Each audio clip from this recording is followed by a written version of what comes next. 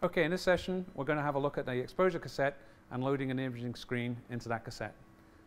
So if you look here, we have two sides to the current screens that we sell.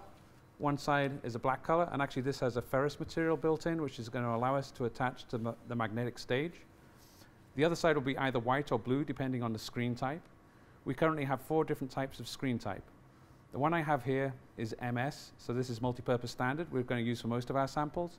We also have one called SR, which is super resolution, and that's going to be using with arrays and tissue sections. We have one which is called TR for tritium, and obviously that's going to be working with our tritium samples. And then the final one, which is not going to be so commonly used, is for neutron detection. So maybe you have a physics lab who are doing stuff with neutrons, and then we can use this setup to do that. The exposure cassette here is going to hold our screen and be held in a light tight environment.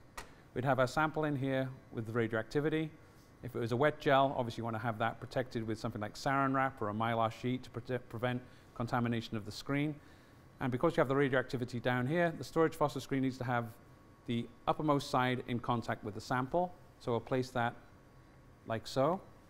And then we're going to close the exposure cassette.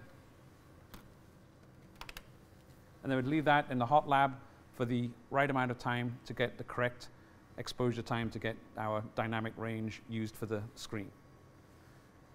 After that set amount of time, we would open up the exposure cassette again.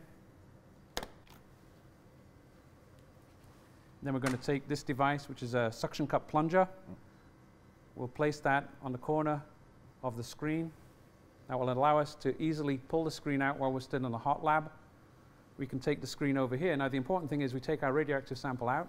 We'll leave that in the hot lab we could then leave the screen in the exposure cassette and close that up again. Now we can take this up to the machine for scanning without any danger of having any radioactivity in contact with the instrument.